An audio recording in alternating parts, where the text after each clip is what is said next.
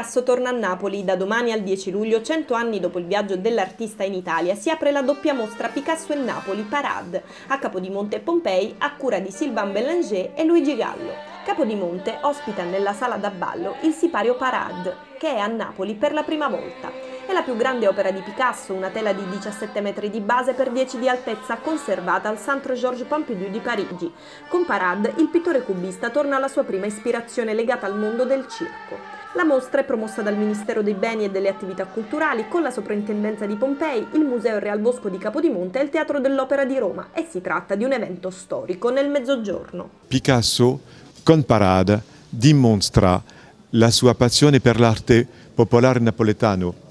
Picasso è sempre stato appassionato del teatro. A Napoli ha visto il teatro in 1917, l'ha visto dappertutto, il teatro era dappertutto, il teatro di marionette, eh, i ghignol e poi il teatro popolare. Questo è, credo, la cosa la più importante che dimostra questa mostra, eh, con 60 opere di Picasso, con la più grande pittura di Picasso mai fatta, che è questo sipario di, che si chiama Parade, per il balletto Parade, ma che non è veramente un sipario perché si legge come, come una pittura 17 metri di lunghezza, 11 di altezza, enorme. È entrato con difficoltà nella, nella sala da ballo di, di Capodimonte e devo dire che questo incontro storico della sala da ballo con questo meraviglioso decoro e il sipario è una bellezza fenomenale.